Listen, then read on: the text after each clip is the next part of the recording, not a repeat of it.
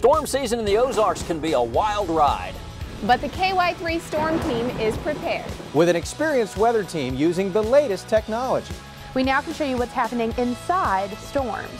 With Storm Tracker 3 live Doppler radar, we set a minute by minute timeline of when storms reach your neighborhood. And even when your power goes out, we are still streaming live on the KY3 News app.